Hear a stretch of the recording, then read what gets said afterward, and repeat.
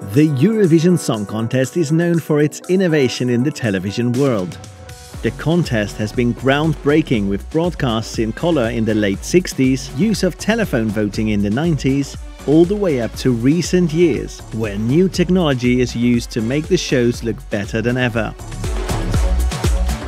The first Eurovision Song Contest that was broadcast in HD was in 2007. But did you know research and development with HD already began in 2006?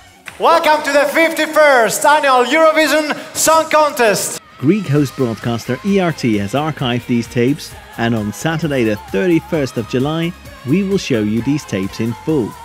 What can you expect? As HD was in its development stage, the tapes do not show any graphics, giving you an interesting insight into what happens on stage during the postcards.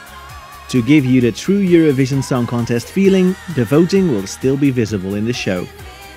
Are you ready to see Lordi rock hard in high definition? Make sure to tune in from 9pm Central European Time.